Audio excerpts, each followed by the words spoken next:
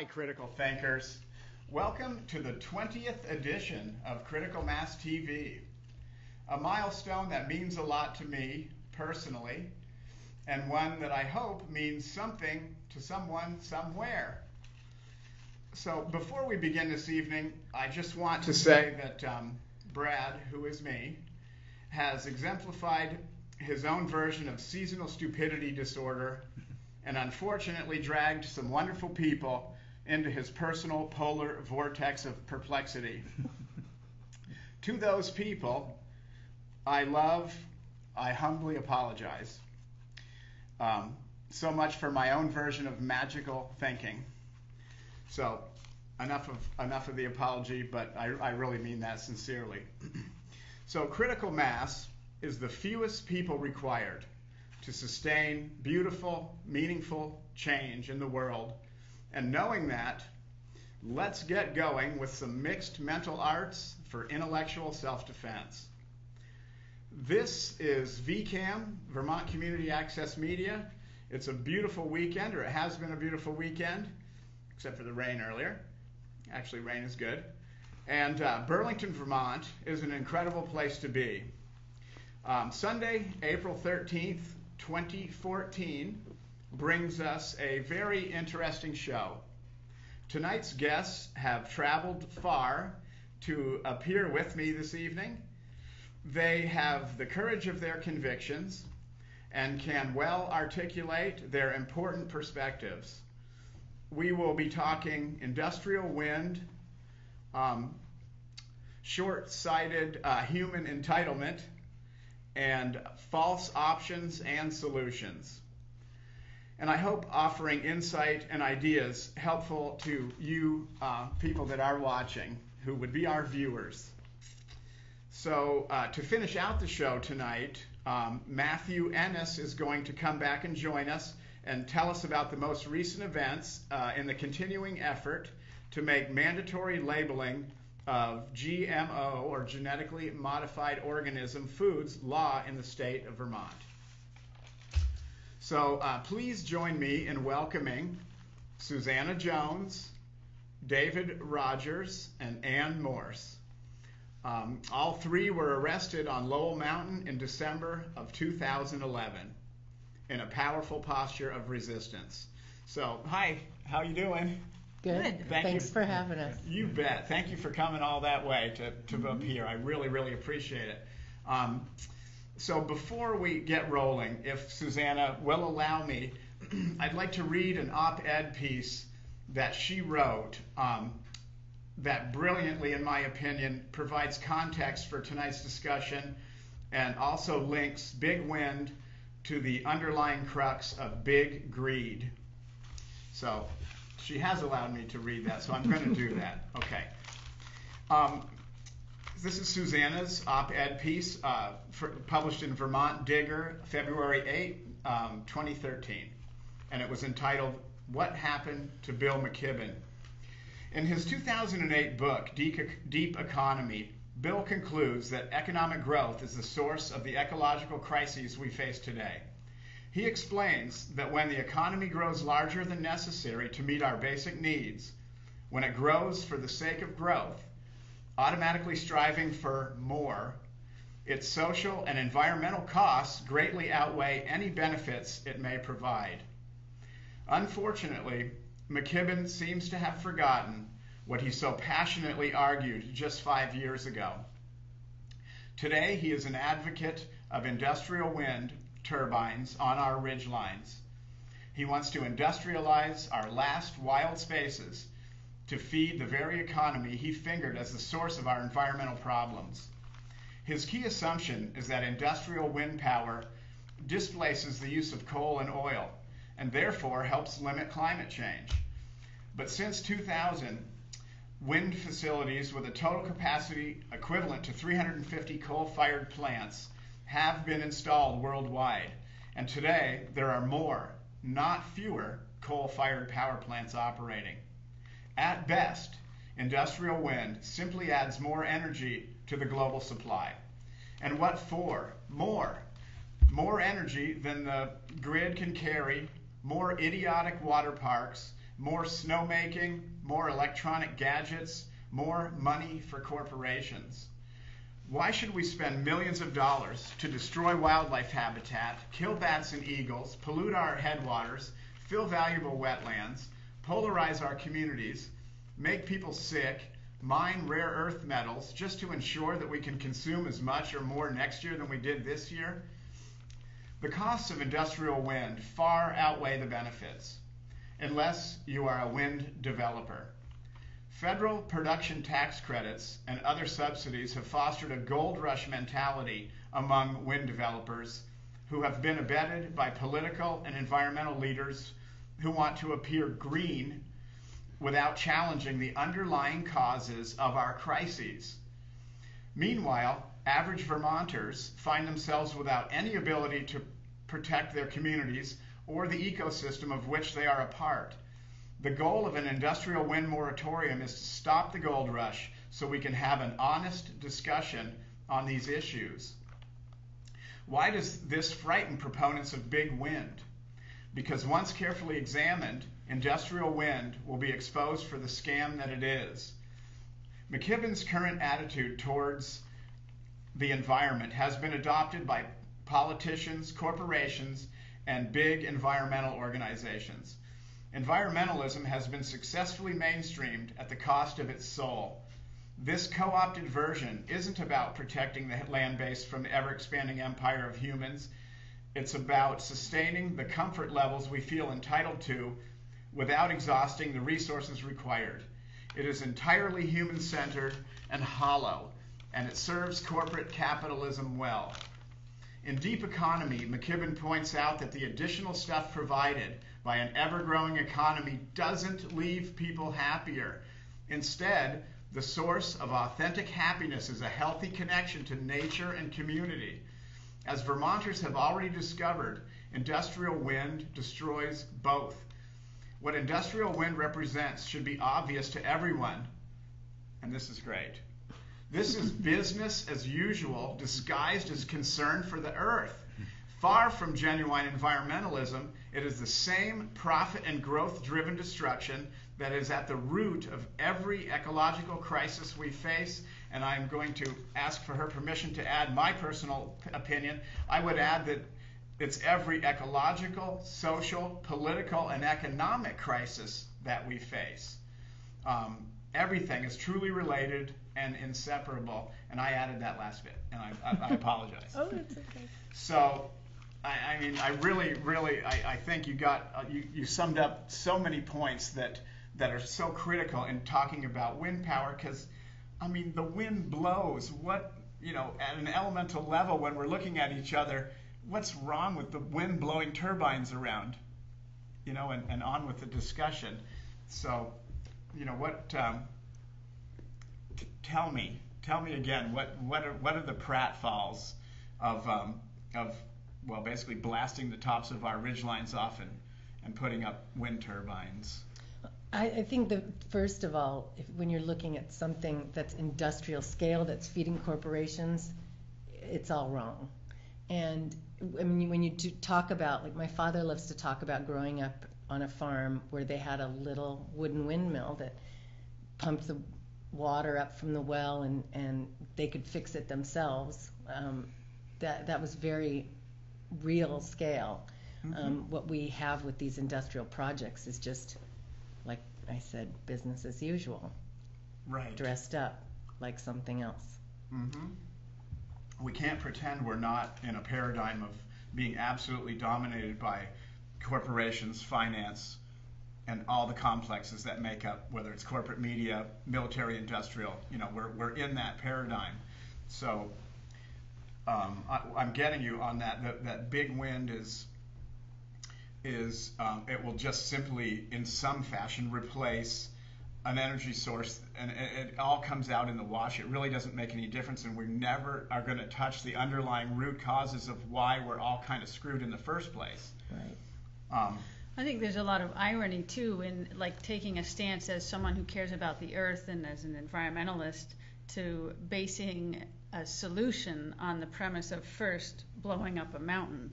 And Hmm. destroying one of the few remaining more or less intact, intact ecosystems that we have. And that, to me, that's why I got involved in opposing the Lowell Wind project to start with, was just that, just that sort of gut level feeling of, that just doesn't seem right. I mean, I, I am a big fan of the, pr- the principle of do no harm, and that's, uh, it just seemed fundamentally in opposition to that. Like, if we want solutions, we need to start by doing things that are holistic and that are integrated and that are small scale and community managed and for the benefit of people and the planet, not for the benefit of some rich corporation. Yeah. So I think that's, um, there's just a lot of irony in that. Yeah, Yeah, I think- tragedy. I think uh, uh, reinforcing, same thing, you know, you don't save the environment by destroying it, you know, and that's unfortunately what happened in the Lowell Range. It's not a question of wind or being against wind. I think wind in the right place on a small scale, individual turbines, and also, you know, i- in the places that the federal government long ago studied to where there is wind, in the Midwest, in the Southwest, uh, on the coasts and, the ocean, you know, there are other other problems, but those do not require the destruction of the environment to make the platform. Here, in this case, you have in the Lowell case is, a terrible example. They spaced the turbines, uh, i- you know, equally apart because of turbulence, but as a result, they were not using the natural places for platforms, so they had to create places. So they had to blow up a lot of rubble to Mhm. make these platforms. And so that was the real crime there of, of really doing permanent damage to the mountain. It is not going to repair itself in time. That is permanent, massive damage to the top. And anyone who goes up there will come to that conclusion. And a lot of people's minds have been changed, including politicians, including the head of the Vermont Electric Co-op, by going up there and seeing what happened there. Not Right. seeing photographs that don't Right. really show it, really seeing. And so it's you got to think complexly about this issue, not simplistically. Mhm. It's good in the right place. It's not good in the tops of mountains. Or it does work in the right It place. doesn't. It, it yeah, has yeah. less It's impacts. much more destructive Right. on the tops of mountains. I know. But there are other places where it is a very good solution. What's kind of, you know, as you were saying that, I was thinking about like walking on the top of Camel's Hump. You will literally get accosted and tackled by Yeah, a state if employee you if you wander off the- the the, uh, the the trail to Yeah, protect the stay in the sensitive tundra.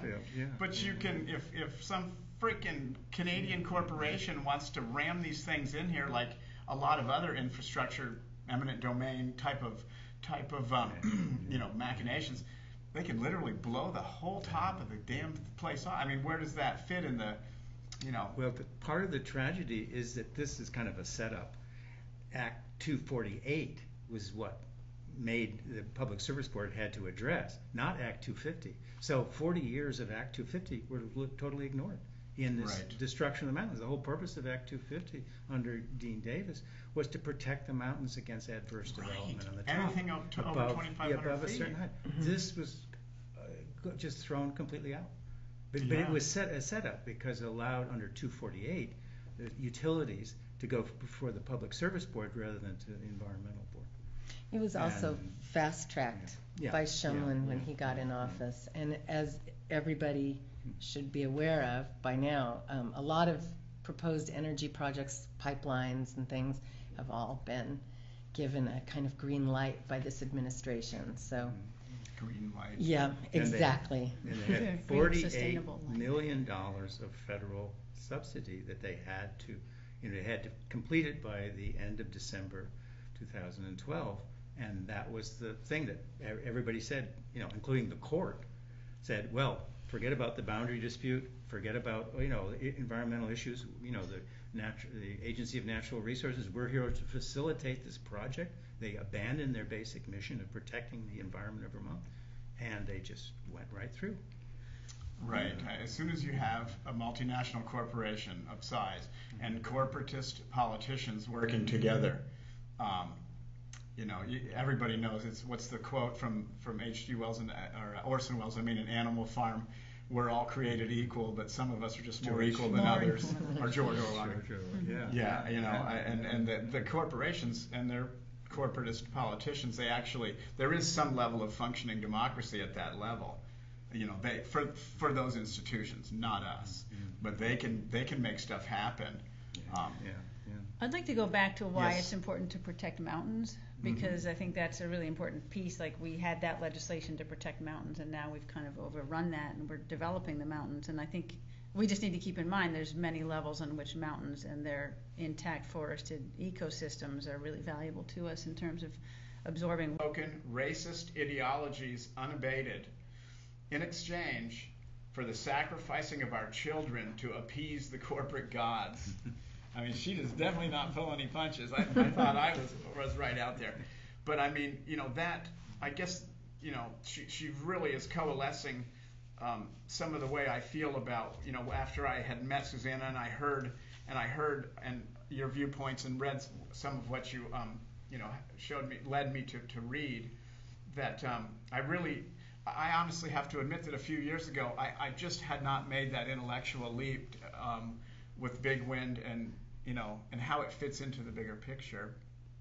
I also think we're we're we're asking the wrong question when we're we're thinking about uh, when we're driven really by maintaining industrial capitalism because it's pretty comfortable. Mhm. Um, we ask the question, how can we keep this system, um, but green it up a little bit so we don't feel so bad.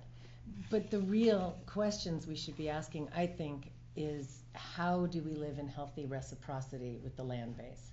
It'll give you a very different answer, and I think the only way towards something that doesn't mean self annihilation.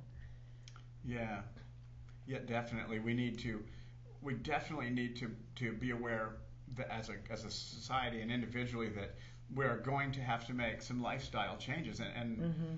I- in my in in my mind, I I can always picture. Um, it it doesn't. We you know we definitely don't need to regress. It, it can still be a bit of moving forward, Mm-hmm. but we cannot do. If you put industrial um, in, in front of, of the uh, the concept that we're talking about maintaining, either transforming or reforming, then we're, we're probably you're already headed towards that that cliff. Mm. You you know. Um, so we we certainly can have a society that where where we can that would be more primarily land based and where where everyone in the entire planet can have a, a, a decent and sustainable style like you know uh, standard of living. And I, I you know it's it's and it has been illustrated quite uh, well by others that that all of that is possible. We have without the industrial agriculture and without um, you know the the massive amounts of transporting ourselves that we do and all that, we can still be fundamentally happy, contented, and industrious and productive, which I think drives all of us. I mean, all of us here are probably quite active, quite industrious, and, and we always feel like we need to be producing. But it, it doesn't need to be clouds of gases. It doesn't need to be leading to, Mm-hmm. you know, s- despoiling the oceans and, and our entire land base and um, mountain removing mountaintops for coal and just you know it just goes on and on. Mhm. So One of the things I want to address is that we've been painted by the proponents of industrial wind, we've been painted as climate change deniers. And yeah, we're not at all. We're just um, not believers in industrial scale solutions, so pseudo solutions. hmm and like we said before, that's that is hard. It's really it is hard for somebody who's one, a member of one of these mainstream environmental organizations that really I consider to be my natural ally and really mm-hmm. does genuinely concern about us having a future mm-hmm. together. And when they hear that somebody is anti-industrial wind, it, it can be shocking, and it, mm-hmm. you really have to deconstruct and then reconstruct your, you know, some of your basic beliefs. And I think there's an important reason why it's shocking to people, and that is that there's been a really effective media campaign around how green these solutions are. And I think that there's been a deliberate portrayal of things like industrial wind um, by corporations who stand to profit from them as green and sustainable solutions. And that's been very effective. So I think that your average person who cares about the earth and wants to solve the problems is easily sucked into that. And then it becomes also it becomes some, something hopeful and something positive, and we all want to believe that there's a solution in sight. And I think it's really challenging, but it's super important to look at what are the root causes of the problems, and then what are some real solutions instead of the smoke and mirrors solutions. I've really come to see industrial wind as a set of smoke and mirrors that doesn't achieve any significant CO2 reduction and that diverts people's energy away from put, needing to conserve and think of alternative ways of living, like you were just talking about.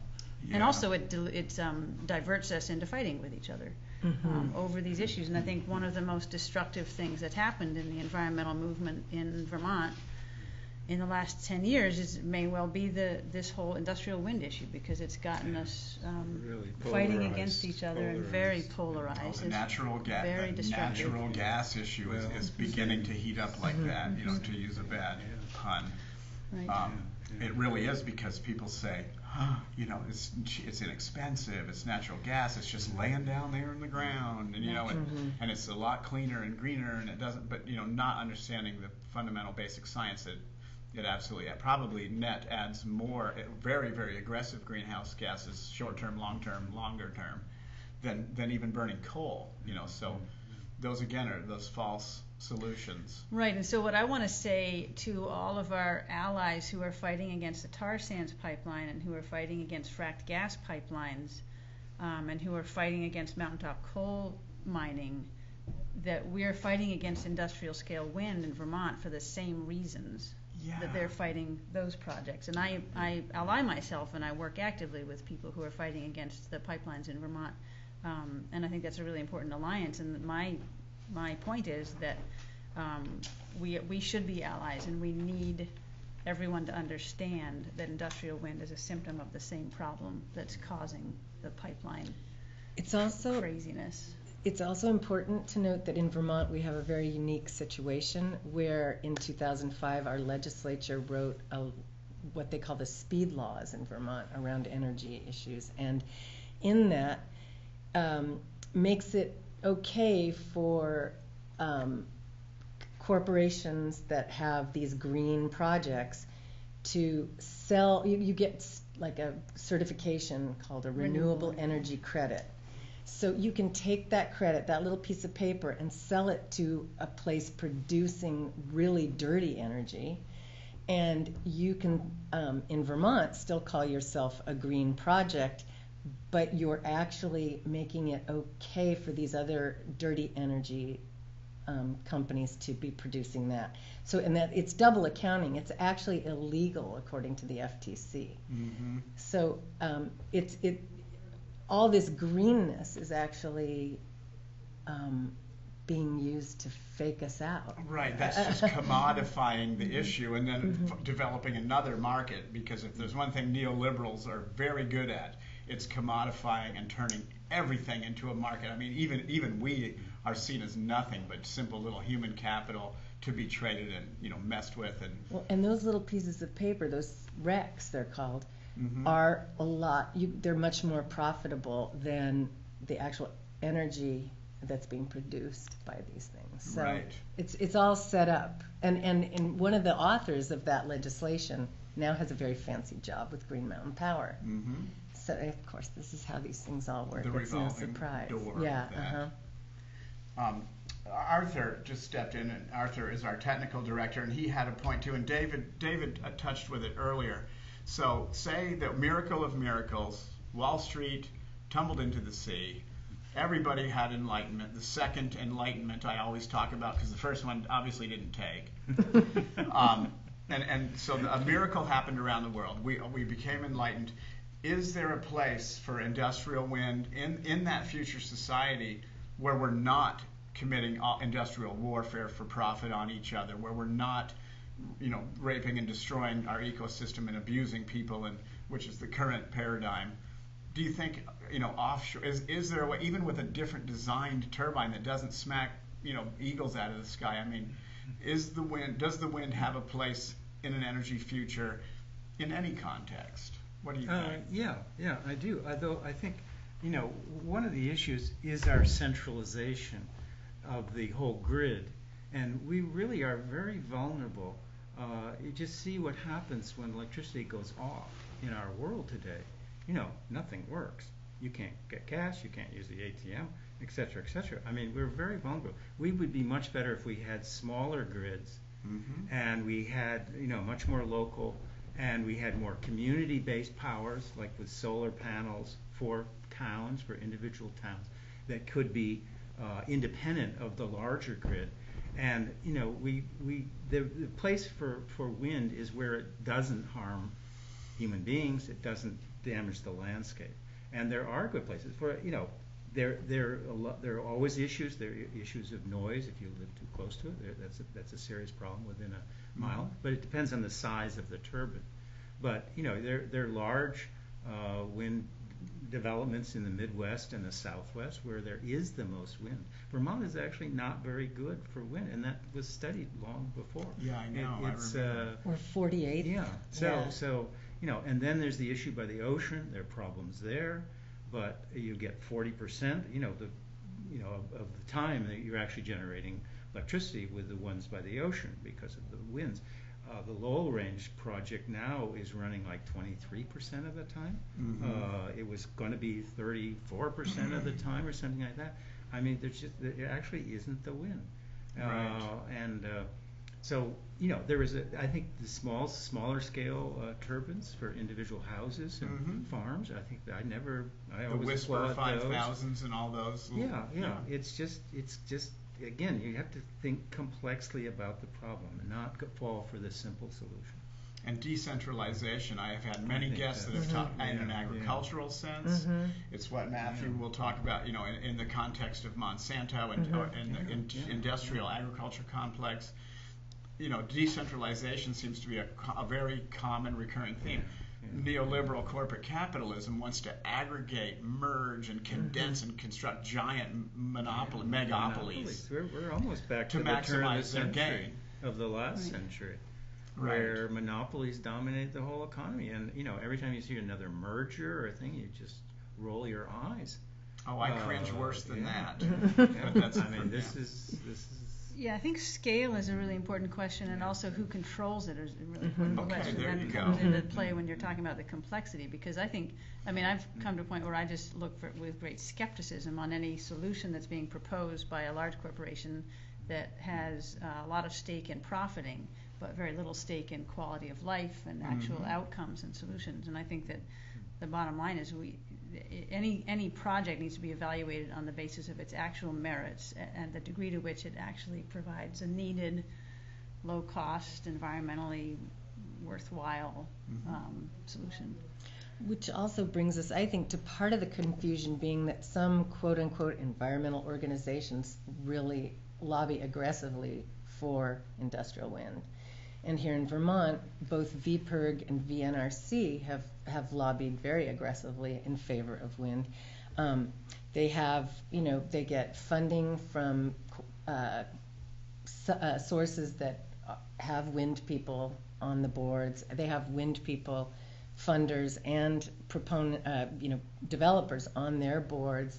Um, and I think actually Chris Hedges said this best um, in his book Death of the Liberal Class. He talks about how um, over the last century, uh, liberals or the the left has basically failed to um, defend the values it espouses. And this fundamental disconnect between belief and action has been corrupting and disastrous, and it has resulted in this kind of thing, where um, basically he says the watchdogs, the historic watchdogs against the, the abuses of the capitalism and the elite, have betrayed um, that role in order to get a comfortable seat at the table and inclusion in the club. And so, unfortunately, it's created a power vacuum in which totalitarian elements have historically filled. Um, and yeah, I mean, it's, it can, it's kind of scary actually, but this is our history around the world. This kind of thing has happened. Um, he thinks that the the fate of the liberal class has been really um, tragic, particularly tragic because it they willingly silenced the radicals and iconoclasts that gave them moral guidance Right. and and in so doing, you know, they were supporting foolishly supporting corporations and institutions that have ultimately annihilated them. um, because they were refusing to question unfettered capitalism and globalization and educational institutions because they were seduced by careerism, prestige, and comforts. Right, and so exactly what we're seeing, they've they've severed their their connection to uh, the like the, the good thinking that was happening, and have have basically sold us all out. They, Yes. they have betrayed us all, and that's what we're seeing with these environmental organizations. And I know it can be very confusing to people, but And, and the state government. I feel, I, I was naively looking at Vermont as, you know, s- different than the rest of the country, but uh, on this particular issue, I feel terribly betrayed by the governor, by our representatives in Congress, and by the Agency of Natural Resources Mhm. and the Public Service Board. They are not protecting us. At, at the They core, you know, protecting us. That's that's where we're in like the Citizens United decision and the Yeah. most recent Well, uh, decisions by the Supreme Court about unlimited corporate money can be poured into these um, campaign cycles. The what what you end up with is an a, entire political class of strictly corporatists. Yeah. They serve corporate interests. That is their entire constituency. They take all of their money and, and get all of their ideas from corporations and co- other corporatists. And the giant unliving corporation, which will never go away, you know, unless we stop it, um, gets total hegemony over the world and, and our even in Vermont. I mean, it's it, it Yeah, is a function in of Vermont. absolute corporate domination. Which is why I think it's really important to talk about resistance. Yeah. Yeah. Citizens resistance. So Yeah. I, I want to make sure we share with your listeners some of the tools that we used in opposing the Lowell Wind Project. But I'm wondering if you want to show those video clips yeah. Hey before we do Jim, that? um, can we show those videos, sir?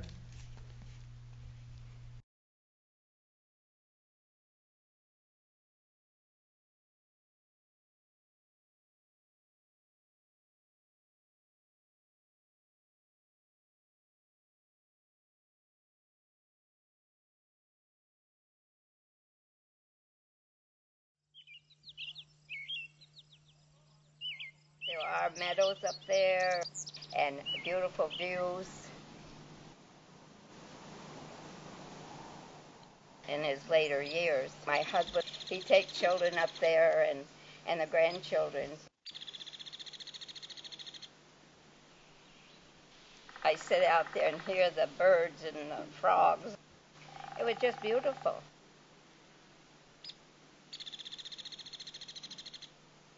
It was so beautiful. I always felt that I was blessed.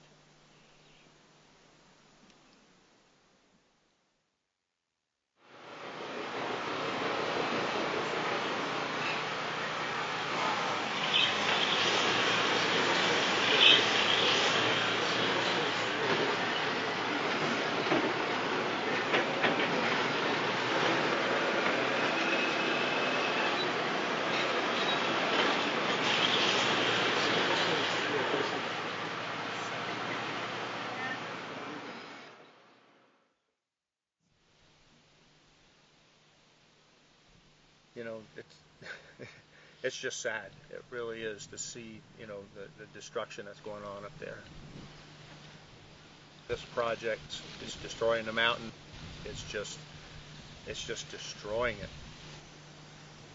born and raised up here on the firemen. Yep. It looks like a it's a totally different place now. The top of the mountain will never look the same. Yeah. It's gone. Gone. I mean, it's level.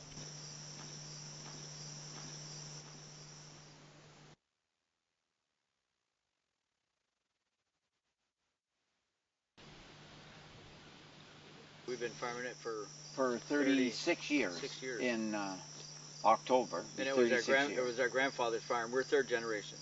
He bought it back in the early 20s. Yeah. Until now, everything's been fine, been beautiful. My brother and I are up at the age where we want to get done. This is our retirement right here.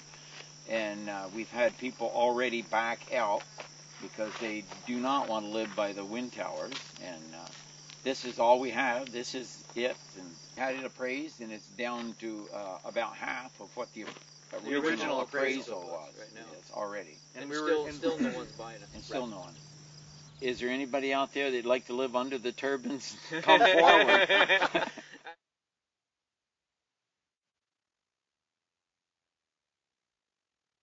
I used to have faith in the judicial system with, you know, all the truth will come out and all this other stuff, but apparently I was naive because it seems as though most of most of the decisions regarding these projects is not about the truth.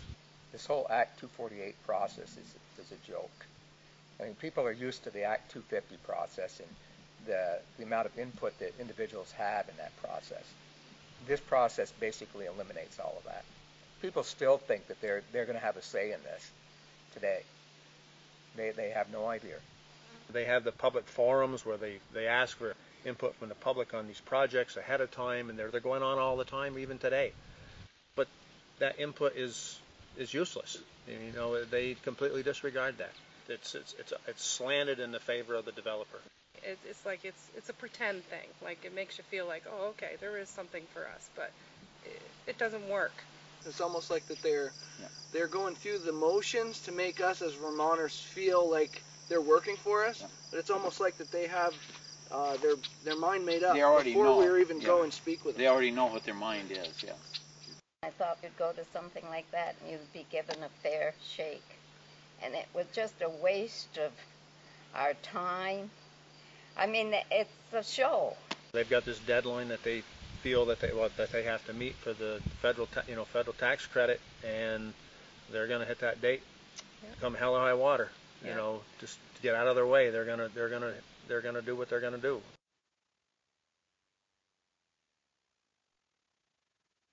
Vermont's a very small state, so the the locations in order to put a project like this are very, very limited, and I don't think Vermont is a place for wind turbines, at least of the industrial scale.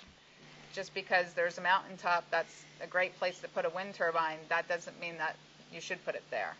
And looking ahead, you know, we're worried about the noise. And there's like, it's a pretty bleak outlook for us if there is a noise issue.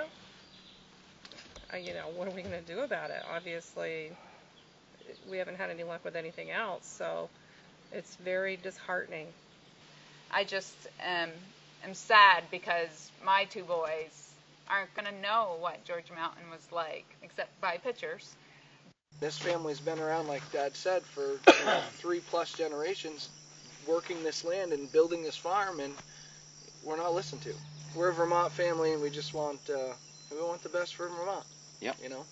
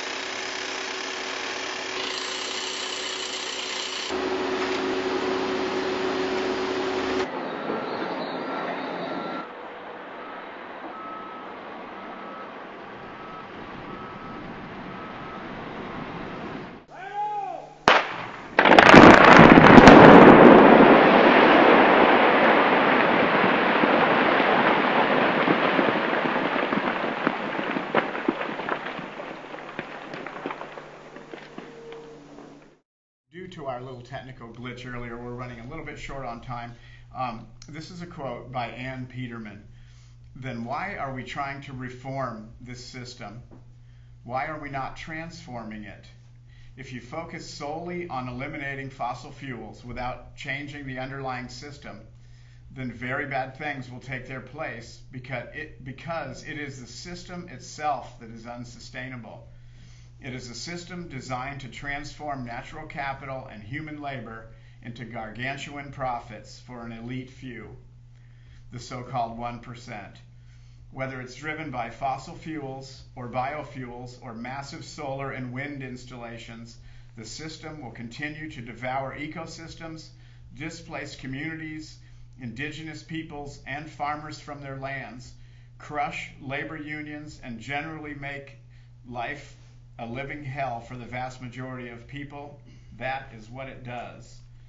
So, um, would you guys willing to be resistant again and get arrested again for similar, for sim, you know, in resistance to similar issues? Yes. Absolutely. Yes. Yeah. I, it was one of the best things I ever did because I was so angry at this project and the feeling of having no power. And this gave me a feeling that I really could do things. And though we didn't stop the project, we brought the issues to a statewide level with our trial. Uh, and we appealed all the way to the Supreme Court and we got a very good dissenting opinion from Justice Dooley. And I think we started to make people think about the issues and not just knee jerk the guilt free green uh, reaction. And for that reason, several Uh, projects have been yeah, dropped. yeah. That's what I was going to ask you. yeah. Are Yeah. there other projects in the works right now? Is is there more stuff, um, you know, in, in the in the you know pipeline? I use that term loosely, but I think the Well- only one left really is, uh, well, it was Grafton and Windham, and it's Yeah. Grafton. They've dropped the Grafton side of the mountain, and they're working on Windham. But okay. but the Grandpa's Knob project was dropped. Uh, Newark, uh, Ferdinand, yeah, Wow. those were all. I mean, At least for now, I think Right. it's important not to get complacent, but I think it's also really important to recognize um, the many layers that you have to be active on in order to have an impact like the one we had. And I think that um, it's really important to participate in all the public processes that they talk about with that little film clip, and also important to just use any foothold you can to obstruct progress. And that's what we did: is occupied the disputed property that the Nelsons own um, and we were able to delay, delay blasting for periods of time and also to block the, the crane path there. Um, and I th- so I think it's really important for people to take direct action and to look at weak spots in the arguments and to do um, public education. We hosted um, well over 200 people up on the mountain over the course of a year or so to look Yeah. at the site um, in person, and that, that had a really big impact on a number of people. So Um, was- sustaining the moral outrage, sustaining the activism, sustaining the resistance Yeah. is what it really is the, the best tactic we have to, Mm-hmm. s to st- solve these issues or at least make an impact so we can have the Mm-hmm. conversations that you were talking about. We have to shift gears now. I really, I, I hope desperately we can have you back at some point. So we, this, this issue is incre- is critically important as far as the, uh, you know, because we're dealing with way more than just big wind here, obviously. So I would like to introduce again Matthew Ennis. Like I said, we're going to shift gears a little bit. Um, we have been uh, had you know sustaining coverage on the issue of GMO labeling in the state, mandatory labeling of, of GMO foods, and um, there have there have been you know some some events that have happened recently. Matthew, tell us um, you know fill us in with what you with, with what you know. So, um, you know, the bill, it's for labeling uh, processed food, and it passed the Vermont House last session, last April, mm-hmm. and now it's gone to Vermont Senate, and it's been through three committees in the Vermont Senate. It passed out of the Agriculture Committee four to one. It passed out of the Judiciary Committee five to zero, and then this past week it passed out of Appropriations seven to zero. Wow, I mean that's that surprises me. Yeah, I mean, I think that we've had a lot of pressure. I mean, a lot of us have been working on this issue for 15 years, and there's a lot of new people working on the issue, and we just have a lot of momentum right now. And the lawmakers are listening, seem to be listening to us. I know. And you know, we don't, we want to make sure we get this bill through and get it signed, So um, this week is, there's a vote in the full Senate, and we're asking people to call their senators, their state senators. Um, you can call them at the State House, at the Sergeant at Arms, and the number there is 800 322 5616. And you can call there between 8:30 and 4:30 tomorrow, or between 8:30 and 10 on Tuesday morning, because apparently they're going to be talking about it later Tuesday morning. So we want to get the calls in Right. in the next couple of days, the next day and a half. And for those in Chittenden County, it's um, Tim Ashe, Philip Baruth, Ginny Lyons, uh, Michael Sirotkin, Diane Snelling, and David Zuckerman. Those are our six state senators. Call them. Yeah. call off, and keep But 'em. if people are hearing this outside of Chittenden County, you can go to vermont.gov and go to the legislative website off of there, and you can figure out who your state senators are because they all need calls. Mhm. Now, after if this passes, which we expect it will, then it has to go to conference committee. It has to be resolved between the House and the Mm. Senate bills. There are some variations on the bill. So there could be a vote back in the House again. So it could be the people will need to follow up and call their House members. And to find out, to follow the issue, people can um, go to the website uh, vtrighttoknow.org.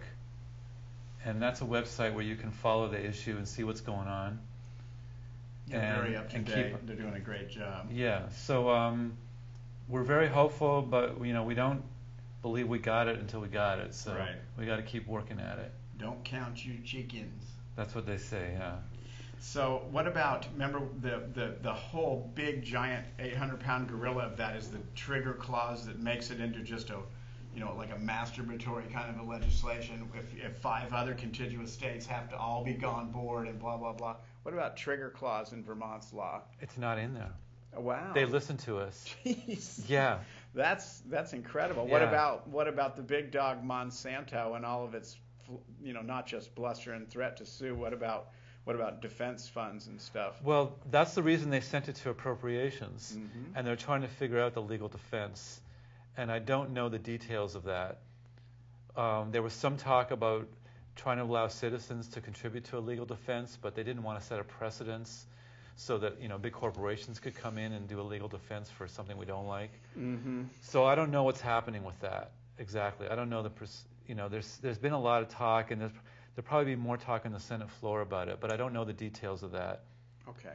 But they're definitely they sent it to appropriations because they wanted to appropriate the money that it might cost to defend this bill. And if we lose in court, it could cost the state up to ten million dollars. Probably not that much, but it could cost that much. To- we don't expect that's going to happen. We, we think we're going to win the case, but it's nothing is given. But also, I think it's going to um, it's going to get other states going, and I don't think ultimately we're going to be alone on this. I The- think we're just going to be people in other states to dry, put politicians' asses on the fire. yeah. I think we're just going to lead the way like we have before, Mm-hmm. which Vermont is um, good at doing. Yeah, there is some collective courageousness in this state. I love that about this place. Yeah. Not, everybody's not a milk toast.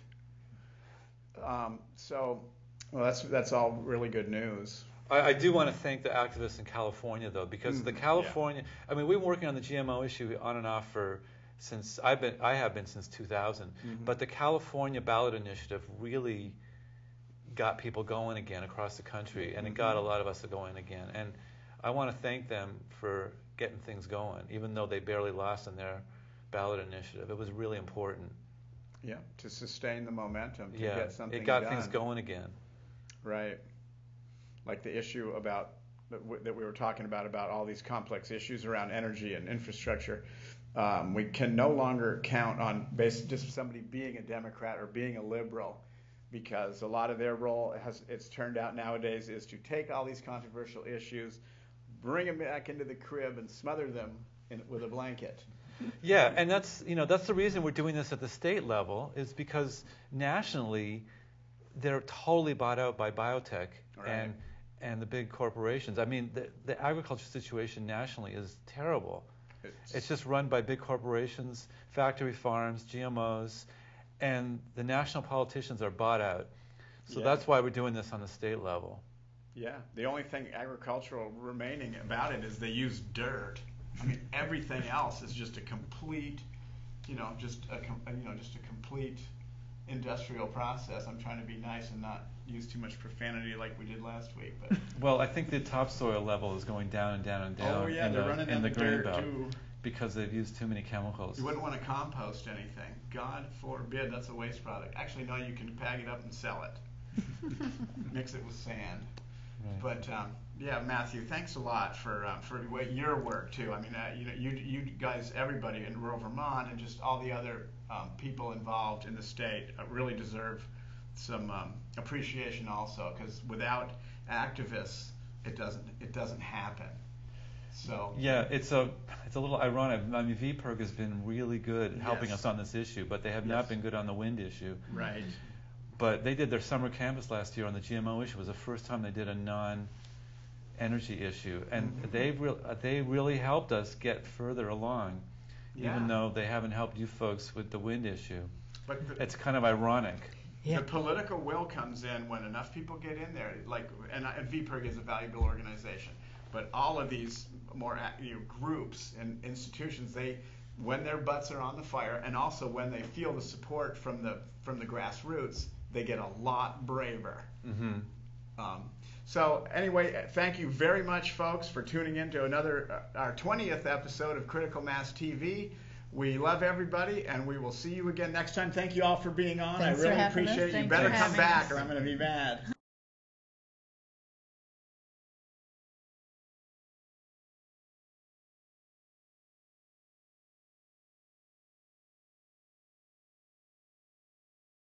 What brought you to Vermont? I you- grew up in Vermont Ah. and um, met my husband when he was in college. We moved back to Maryland, where he's from, um, for job purposes. And about 16 years ago, we bought a camp at Lake Eden, our dream place Hmm. to buy a camp. Then five years ago, this farm became available. We bought it. And I'm thinking this is the golden opportunity. I'm back my where my roots are, able to come back home, show my children and share with my children what it's like to grow up in rural Vermont and my grandchildren. And now, lo and behold, here's a wind project in my front yard at my farm and in my front yard at my camp. The two treasures of my life. And I am heartbroken. I'm disappointed and really disappointed in my um, fellow Vermonters. They have let me down. I grew up with these absolutely pristine mountains and ridge lines, and they are going to be forever ruined. And for very little benefit, if any benefit at all. Not any benefit to you, me, and all the other Vermonters. The electric goes back out in the grid, and, you know, and then my rates are going to climb. So I just feel my lifetime dream of sharing this beautiful place with my family and friends. It's gone. It's going to be gone. It's going to be destroyed. We need green energy, but this type of energy is not 100% green. We're end up destroying absolutely pristine um, ridge lines, and the efficiency is the, all the uh, research data just proves the efficiency is not there. Um, it's not green. You have re- have to have reserve power. It's so it, it's this is not about me and my family and my friends. It's about the whole state. It's about every ridge line that is not efficient to produce energy is not in character of the state. You look historically, we are the Green Mountain st- state. We're not the Green Mountain state with windmills on every ridge line. We are the Green Mountain state. People come here for the beauty, the simplicity of this state, the down to earthness, the to see the person making the pottery, to see the maple syrup being made. No one is coming here to see windmills. That's not what this state is about. This this state is about a special warmness and family traditions, and our tradition is not to destroy what Mother Nature has given to us. What about the wildlife? Oh, Hasn't Vermont protected its wildlife? we've always protected our wildlife. It is so precious. Um, we all know the plight of the eagle don't let it also become a plight of the bear, the deer, the moose, the fox, the bats, all the birds that we have. And it will happen if you allow the destruction of our beautiful mountains and have them leveled on the tops of the mountains, just completely leveled off, where you're going to destroy their natural habitat, their migration um, paths, and and when it's gone, it's gone. You can never ever get it back. No, because in Iowa, for instance, or in Texas, they've ordered them down. But we can't then build the mountaintop back up. No, we cannot. And you know, in in the Midwest and in the Great Plains, it is already flat. And like you know, they certainly have the wind. We don't have the consistent wind here. Um, and you have to look at green power. And I, 100%. We were recycling when my son was elementary school, and he's 37 now. In the third and fourth grade, they started talking about recycling. We were the first people to have recycling on our street, having the bins and stuff. I said, it, we're all about green. We had solar panels at our, on our house in Maryland, and they were very efficient. Two solar panels reduced my electric bill by $50 a month. Branch of that was a number of years ago. Heated But- the hot water. It heated our hot water. It didn't heat the house, but it did heat the hot water.